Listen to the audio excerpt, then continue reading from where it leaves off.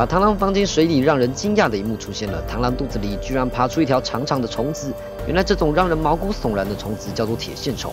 它会在螳螂体内白吃白喝。当铁线虫在螳螂体内成熟时必须要回到水中完成产卵的任务。此时螳螂就会身不由己被这异形生物所控制并跳入水中然后它就会从螳螂体内破肚而出而螳螂也会因腹部受伤而死亡。订阅我一天一科普观看更多视频。把两千度沸腾的铝倒进蚂蚁窝究竟会发生什么事？